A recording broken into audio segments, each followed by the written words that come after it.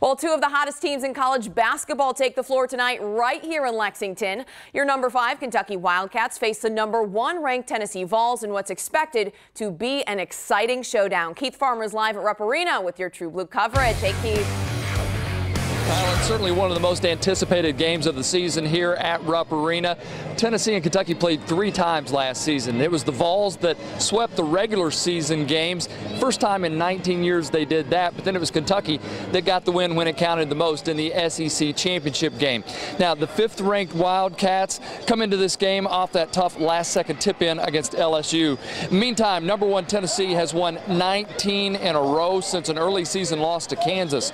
UK will start three freshmen, while the Volunteers have three juniors and two seniors. And the Vols winning streak started against EKU. It continued with a win over then number one Gonzaga, but since that game on December 9th, Tennessee has not faced a ranked team.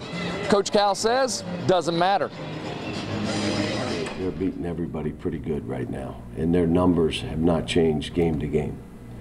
Um, you know, they beat Alabama at home, who beat us. So no, no, they're uh, they're good. They're good. They're they're a team. It, if they keep going like they are and stay injury free, they're going to be one of the last teams standing. Tip-off set for 8 o'clock. If you're not going to be here at Rupp, you can see this one on ESPN. Coming up later in sports, we're going to hear from both coaches, both John Calipari and Rick Barnes, as they talk about this top five matchup. From Rupp Arena, I'm Keith Farmer. Kylan, back to you. An exciting night for sure. Thanks, Keith. Well, it also is a good night to stay inside and cheer on the Wildcats. Tomorrow might be an indoor day, too.